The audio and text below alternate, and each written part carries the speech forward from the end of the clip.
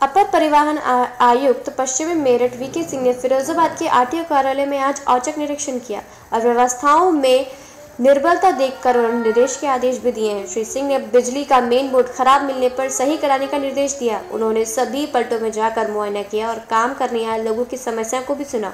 Record room में जाकर उन्होंने फाइलों को देखा और आश्चर्य व्यक्त करते हुए कहा कि रिकॉर्ड रूम को जल्द ही नए सिरे से बनाए जाने का प्रस्ताव प्रशासन को भेजा जाएगा।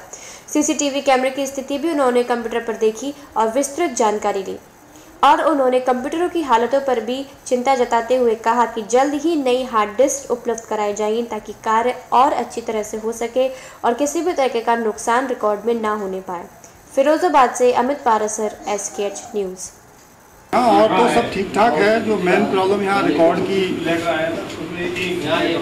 रिकॉर्ड के रख रखाव को लेकर बहुत दिक्कत है। और उसका सबसे बड़ा कारण है जगह की कमी।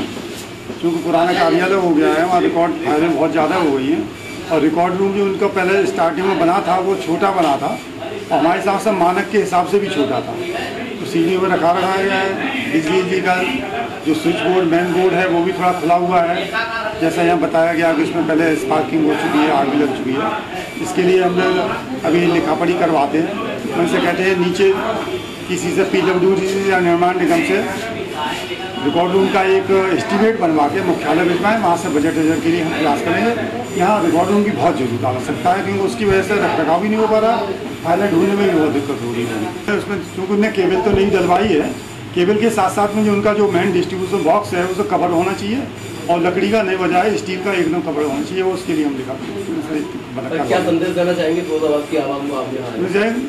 सीधी सी बात है पब्लिक दफ्तर है पब्लिक से जुड़ा हुआ दफ्तर है पब्लिक को किसी तरह से परेशानी नहीं होनी चाहिए और इसीलिए सरकार की हम लोगों की ये प्रयासरत हैं कि चाहे पैसा जमा करने का हो, चाहे फॉर्म जमा करने का हो, एकदम कैशलेस ट्रांजेक्शन हो और जिससे कम से कम हम लोगों की कार्यालय की कर्मचारियों की